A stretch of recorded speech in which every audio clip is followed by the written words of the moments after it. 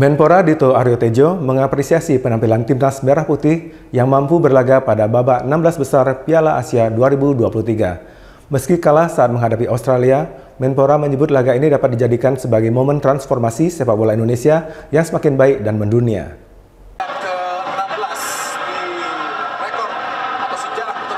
Menteri Pemuda dan Olahraga Menpora Dito Aryo Tejo mengapresiasi tim nasional Timnas Merah Putih yang mampu berlaga hingga babak 16 besar Piala Asia 2023 Minggu 28 Januari.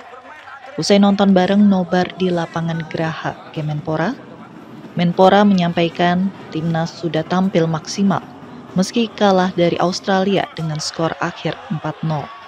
Menurutnya, laga ini dapat menjadi momentum transformasi dunia persepak bolaan Indonesia untuk semakin bangkit di kancah internasional.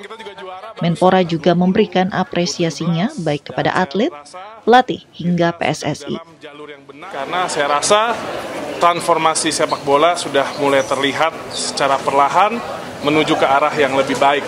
Jadi ini kami pemerintah akan terus mendukung transformasi sepak bola dan juga olahraga Indonesia dan kita lihat selanjutnya dan semoga nanti ini bersama Coach Indra juga kita juga mendukung untuk timnas yang U20, U17 dan saya rasa kita sudah dalam jalur yang benar. Sementara itu, Direktur Teknik PSSI Indra Syafri menegaskan pertandingan ini akan membakar semangat generasi baru di masa mendatang.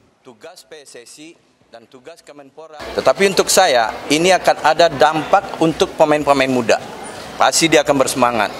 Oleh sebab itu, tugas PSSI dan tugas Kemenpora adalah selalu menyiapkan generasi-generasi baru sepak bola Indonesia dari tahun ke tahun. Dan jadikan momentum kita masuk 16 besar Piala Asia. Setelah kalah melawan Australia, Indonesia pun tersingkir dari Piala Asia 2023.